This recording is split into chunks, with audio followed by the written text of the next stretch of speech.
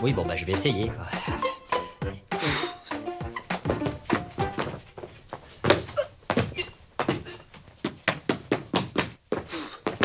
Je comprends pas, ça, ça, ça marche pas. Bon, eh bien, je vais t'aider, Bonaf. Transfert demandé. Ah non, non, pas le transfert. Ah, Alors ça, c'est une belle plage, ça. Oh, super.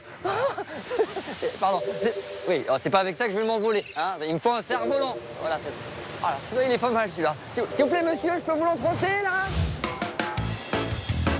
S'il vous plaît, monsieur. Bon alors, Bonaf, il est où ce cerf-volant S'il vous plaît, monsieur. S'il vous plaît, monsieur. Monsieur. Oh. Monsieur, bonjour. Bonjour. Ça va Bonjour Bonaf, ouais. Oui, bonjour. Ça va Comment tu t'appelles Arnaud. Arnaud. Et tu fais quoi Eh ben, je suis moniteur de kite et de mountain board. De mountain board. Alors, C'est quoi le mountain board? Regarde, on en a un juste devant nous. Donc le principe, on utilise une aile pour trouver de la puissance Ouais. et on se déplace Comme un au skate. moyen de cette planche. Voilà, c'est comme un gros skate. Ça m'intéresse parce que moi j'ai une mission. Louise m'a demandé de m'envoler avec un gros cerf-volant. Ça ressemble bien à un gros cerf-volant, ça. Oui, tout à fait, c'est ce qu'on Ouais. appelle une aile de kite. D'accord. Par contre, on va commencer avec une aile beaucoup plus petite que ça. Ouais. Pourquoi Ouais. Parce que là, ça va être dangereux. On a une aile qui prend beaucoup le vent, à 12 Ouais. mètres carrés, il y a beaucoup de sustentation. Sustentation. Ça veut dire quoi? La sustentation, c'est la puissance que va te procurer l'aile avec le- la force du vent, tout simplement. Et donc la taille de la voile, euh, ça dépend du niveau, c'est ça? On va adapter ça en fonction de ton gabarit Ouais. et de ton niveau également. Plus euh, tu es bon, plus tu vas pouvoir utiliser une aile de grande surface. Et alors moi, tu me mets quelle taille? On va commencer avec une 3,50 m. Une 3m50 Il veut me donner une 3m50 Allez, bon, bon, on y va? Alors, première étape pour Bonaf, apprendre à manier l'aile avant de monter sur le mountain board. Alors, vas-y, explique-moi. Donc le vent vient d'où? De là?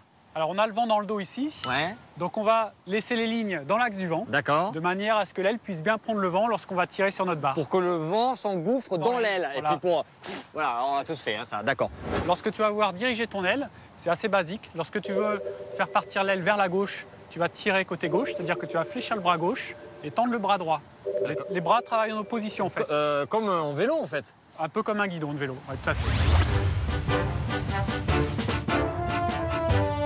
Alors plus tu vas accélérer les mouvements de l'aile, plus tu vas ressentir de la puissance avec ton aile, plus ça va être intéressant pour pouvoir te déplacer. Voilà, ouais, d'accord, ok. C'est pas mal. Incroyable On a l'impression que Bonaf a fait ça toute sa vie. Ok, c'est pas mal du tout. Alors, Arnaud, est-ce que je suis prêt pour le mountain board? Écoute, tu m'as l'air pas mal du tout, on va faire un test et puis on verra bien. Bon, bah, écoute, euh, Louise, euh, pour toi, je vais essayer de m'envoler. Allez, c'est parti. Attention.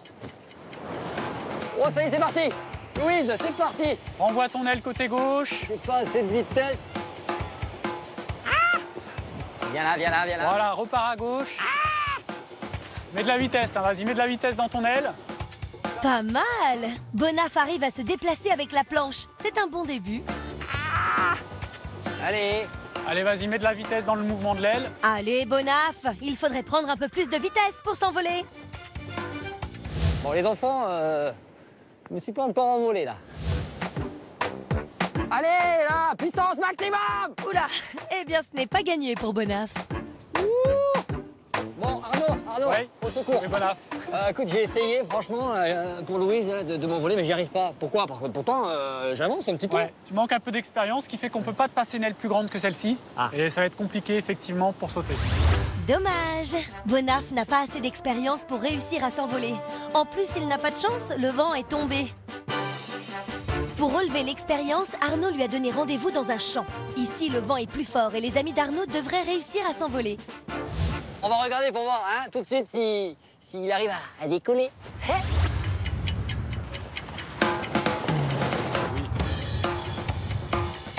Incroyable Expérience réussie pour l'équipe d'Arnaud. Ils arrivent à s'envoler à plusieurs mètres grâce à l'aile de leur mountain board. Oh Louise, mission réussie hein Bon, quant à moi, il me faut un, un peu plus d'entraînement pour faire ce, ce qu'il fait. Mais bon, euh, j'ai essayé. Eh ben, on peut pas toujours réussir. Hein. Bon, allez, j'y vais. en résumé, grâce à cette expérience, nous avons appris que la taille de l'aile varie. Plus elle est grande, plus le vent s'engouffre et plus on va vite. Pour s'envoler, il faut beaucoup d'expérience et une grande voile.